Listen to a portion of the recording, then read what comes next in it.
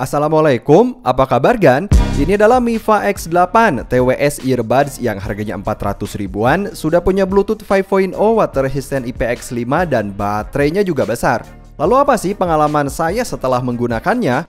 Mari kita mulai Miva X8 punya bentuk oval agak tebal, sama kayak Miva X1 yang dulu juga pernah saya ulas. Ini sensasinya begitu, tapi tetap ringan nih kan. Nah kalau dari material sudah bagus. Di bagian atas ada kontrol sentuh. Jadi untuk mode pengoperasiannya ini bukan tombol tekan fisik ya. Kemudian di bagian sisi ada satu indikator dan satu sisinya lagi ada satu mikrofon yang nanti kita cobain. Sementara untuk bagian sound pipe ini nggak terlalu panjang jadi saya mesti ganti ear tips dengan ukuran middle size biar lebih gampang nempel ke kanal telinga saya gitu kan Ini tergantung dari kanal telinga gan sendiri. Sementara untuk charging box punya bentuk bulat dengan finishing cat hitam glossy untuk materialnya bagus, tapi bakal ninggalin bekas keringat atau bekas minyak yang ada di tangan gitu. Jadi nempel ke sini dan sebenarnya nggak masalah bagi saya.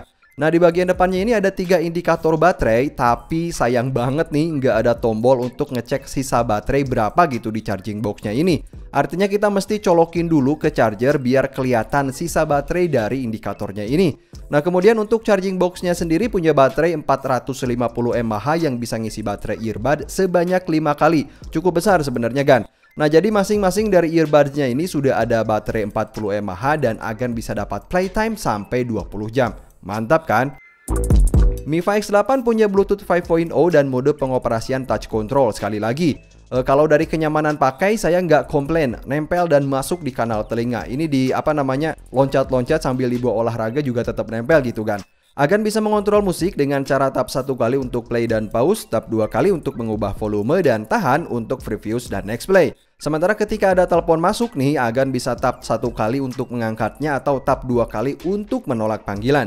Dan gak usah khawatir, misal saat dipakai saat olahraga dan berkeringat gitu, atau hujan ringan gitu kan karena TWS ini sudah water resistant IPX5 jadi eh, tetap tahan ya di kondisi seperti itu.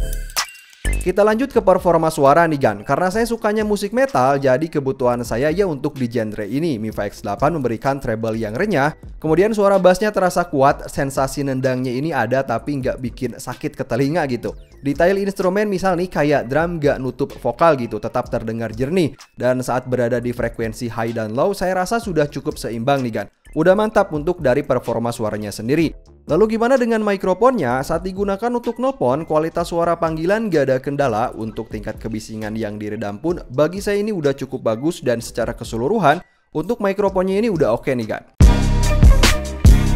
Oke kan, jadi gimana pengalaman saya setelah menggunakan earphone ini yang pertama Mi 5 X8 punya build yang bagus, saya nggak komplain nih. Bentuk earbudnya juga mudah nempel ke kanal telinga, e, baik saat dipasang maupun dilepas ini mudah diambil gitu dan kontrolnya pun mudah juga.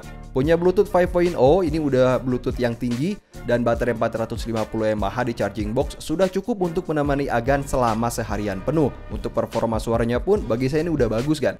Link pembelian ada di deskripsi video. Sampai ketemu di video selanjutnya kan. Wassalamualaikum.